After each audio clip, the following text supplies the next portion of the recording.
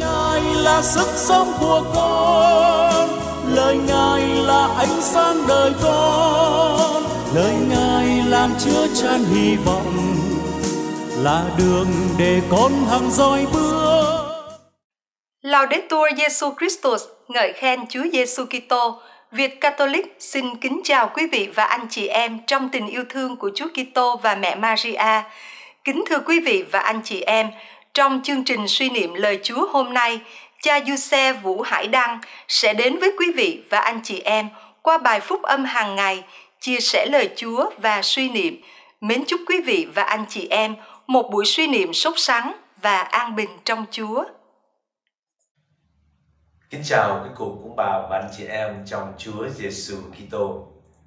Hôm nay, thứ tư 21 tháng 2 năm 2024, trong tuần thứ nhất mùa chay năm B.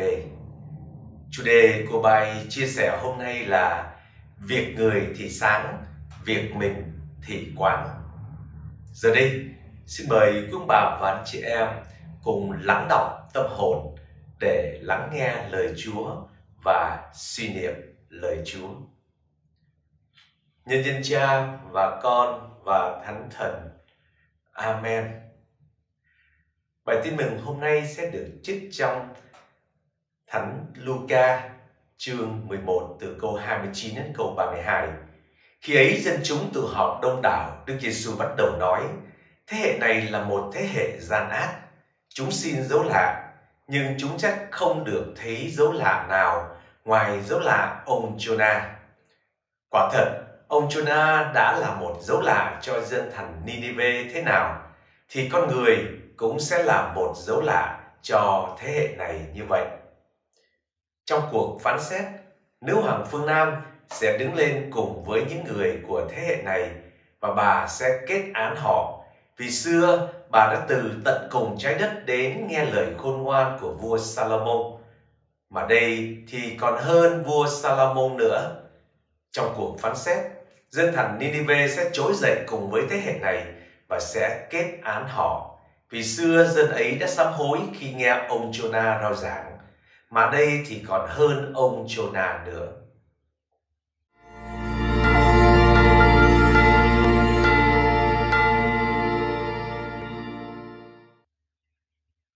Kính thưa các bà và anh chị em, Trước khi chia sẻ, tôi xin nói về những con số xuất hiện trong Kinh Thánh đều mang một ý nghĩa và biểu tượng riêng. Số 40 cũng vậy. Đây là một con số tượng trưng cho số nhiều, nói lên một khoảng thời gian dài, dù là 40 ngày hay 40 năm. Mặt khác, nó cũng nói lên những ý nghĩa sâu xa bên trong con số 40 đó. Những gì xảy ra trong khoảng thời gian đó có thể là sự kiên nhẫn, sự thử thách, sự phấn đấu. Nhưng đáng kể nhất, con số 40 còn mang ý nghĩa thời gian chuẩn bị để đón nhận ơn sủng của Thiên Chúa. Chúng ta hãy cùng điểm lại một số sự kiện liên quan đến con số 40 trong Kinh Thánh. 40 ngày đêm trận lụt đại hồng thủy thời ông Noe. 40 ngày ông Môi-se lên núi Sinai cầu nguyện với Thiên Chúa. 40 năm, dân Israel lưu lạc trong sa mạc trước khi tiến vào đất hứa. 40 ngày ông Môi-sen khám phá vùng đất mới mà Thiên Chúa ban cho dân của Ngài. 40 ngày, ngôn sứ Jonah dành cho thành Ninive để ăn năn, sám hối trở lại với Thiên Chúa. 40 năm trị vì dân Israel của vua David và vua Salomon 40 ngày Chúa Giêsu vào sa mạc để ăn chay, cầu nguyện trước khi bắt đầu sứ vụ loan báo tin mừng. 40 ngày Chúa Giêsu hiện ra và ở lại với các môn đệ trước khi Ngài về trời. Ngày nay, Hội Thánh dành 40 ngày mùa chay để nhắc nhở chúng ta đây là thời gian chuẩn bị tâm hồn để bước vào cuộc khổ nạn của Chúa Giêsu và hân hoan đón nhận niềm vui của đại lễ phục sinh. Hôm nay, cả hai bài đọc Cựu ước và Tân ước đều nhắc tới dấu chỉ Jonah. Ngày xưa, ngôn sứ Jonah đã kêu gọi dân thành Nineveh tội lỗi, lo ăn năn sám hối. Mọi người trong thành từ vua quan đến dân chúng lớn nhỏ đều đáp lại lời kêu gọi ấy. Chúa thấy lòng thành của họ nên đã tha thứ và không phạt họ. Khi nhắc lại chuyện Jonah, Chúa Giêsu cảnh cáo những người Do Thái thời Ngài. Dân thành Ninive sẽ trỗi dậy cùng với thế hệ này và sẽ kết án họ vì xưa dân ấy đã sám hối khi nghe ông Jonah rao giảng. Mà đây thì còn có đấng hơn ông Jonah nữa. Hồi Đức Giêsu ở Galilee, các luật sĩ đã xin Ngài cho xem điểm lạ trên trời. Này các biệt phái ở Jude cũng lại yêu cầu điều đó cũng như lần trước Ngài không cho vì biết họ chỉ có ý khiêu khích Ngài. Ngài hứa cho họ xem một phép lạ cả thể, đó là việc Ngài chết và sống lại. Nhưng Ngài đã mượn tích chuyện ông Jonah để nói với họ. Theo tích chuyện, ông Jonah bị ném xuống biển thì có một con cá lớn nuốt ông vào bụng, giữ ba ngày đêm, rồi nhà ông ra trên bãi biển. Câu chuyện này có ý nói đến việc Đức Giêsu sẽ chịu chết nằm trong mộ ba ngày rồi sẽ sống lại ra khỏi mộ. Như thế, lời Chúa hôm nay kêu gọi chúng ta sám hối. Muốn sám hối thì cần phải biết mình, biết mình có tội để sám hối. Nhưng trong thực tế, biết mình là một chuyện khó vì người ta thường nói bằng quan giả tỉnh, đương cục giả mê Việc người thì sáng, việc mình thì quáng, chỉ biết người mà lại không biết mình. Trong chuyện Jonah, hình ảnh dân thành Nineveh tội lỗi lại dễ thương hơn hình ảnh của Jonah ngôn sứ. Ông không muốn tuân theo lệnh Chúa, ông chỉ muốn dân Nineveh bị phạt. Khi dân thành này sám hối và được tha, thì ông giận Chúa. Chúa dùng tấm gương của họ để kêu gọi Jonah sám hối. Thật lạ lùng, người giảng sám hối lại sám hối sau người nghe giảng. Có một câu chuyện tại miền quê ở nước Mỹ vào thời mới lập quốc. Có hai anh em nhà kia bị bắt quả tang đang ăn cắp cừu. Dân chúng trong làng đã mở tòa án nhân dân để trừng phạt. Sau khi nghe báo cáo về tội trạng của họ, mọi người đã đồng ý trừng phạt bằng cách khắc trên trán của tội nhân hai chữ viết tắt là chữ S và chữ T, có nghĩa là sheep thief, có nghĩa là người ăn cắp cừu.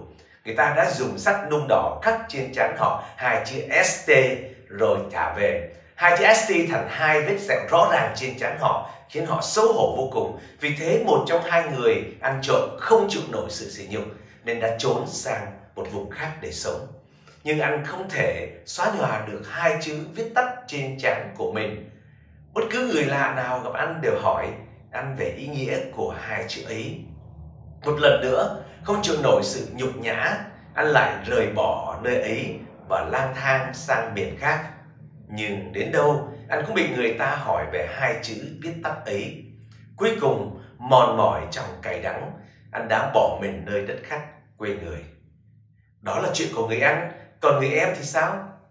Anh ta nghĩ rằng nếu anh mình đã bị sự nhục nhã gặp nhấm đến độ phải trốn suốt cả cuộc đời, thì anh lại tự nói với mình, tôi không thể bỏ trốn, vì chỉ vì có ăn cắp mấy con cừu, tôi phải ở lại đây và tôi phải tạo lại sự tự tin tin tưởng nơi những người xung quanh và nơi chính tôi. Với quyết tâm đó, anh đã ở lại trong xứ sở của mình và không bao lâu anh đã xây dựng được cho mình một sự nghiệp cũng như gian thơm của một người thanh liêm chính trực. Nhưng cho dù năm tháng có qua đi, hai chữ ST vẫn còn ghi đậm trên vầng trán của anh. Ngày kia một người lạ mặt hỏi cụ già trong làng về ý nghĩa của hai chữ viết tắt ấy. Cụ già suy nghĩ một lúc rồi trả lời, tôi không nhớ rõ lai lịch của hai chữ viết tắt ấy, nhưng cứ nhìn vào cuộc sống của người đó tôi nghĩ rằng chữ viết st ấy có nghĩa là sent nghĩa là thánh thiện kính thưa công bà và chị em ngày xưa ngôn sứ Jonah được Chúa sai đến thành Ninive loan báo thành này sắp bị phá hủy. Dân Ninive từ vua tới dân, thậm chí cả súc vật ăn chay, mặc vải thô sức cho trên đầu và thống hối ăn năn, cuối cùng được Chúa thứ tha ấy thế mà hôm nay đấng là Thiên Chúa còn cao trọng hơn so với Jonah đang kêu gọi chúng ta hãy ăn năn sám hối vì nước Thiên Chúa đã gần. Người Do Thái đã không đón nhận và không chịu sám hối, cải thiện đời sống mà trở về với Thiên Chúa. Đó cũng là thái độ của nhiều người trong chúng ta vẫn thả mình buông theo tội lỗi và làm bao nhiêu sai trái trong bóng tối lời chúa hôm nay mời gọi những ai đang sống trong tội. Hãy mau ăn năn thống hối bỏ đường tội lỗi tìm về với thiên chúa qua bí tích giao hòa và đón nhận ơn tha thứ của chúa. Hầu cuộc đời chúng ta được đổi mới và nên thánh thiện. Chúng ta dâng lời cầu nguyện. Lạy Chúa Giêsu, chúng con vẫn thường tham chắc rằng dân Do Thái xưa cứng lòng, nhưng nhìn lại mình, chúng con lại không nhận ra Chúa đang kêu gọi chúng con hoán cải mỗi ngày qua lời Chúa mà chúng con luôn có cơ hội tiếp xúc. Xin cho chúng con trong mùa chay thánh này biết ham mộ lời Chúa hơn để nhờ ánh sáng lời Chúa soi dẫn chúng con thực tâm hoán cải và trở nên con người mới. Amen. Xin Thiên Chúa toàn năng là cha và con và thánh thần ban phúc lành cho anh chị em. Kính chào và hẹn gặp lại các bạn và anh chị em trong những chương trình chia sẻ lời Chúa trên Việt Catholic.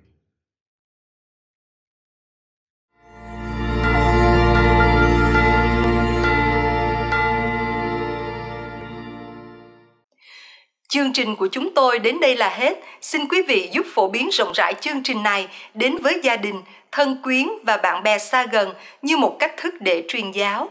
Xin cảm ơn và hẹn gặp lại quý vị và anh chị em trong lần phát hình tới. Laudetur Jesu Christus, ngợi khen Chúa Giêsu Kitô.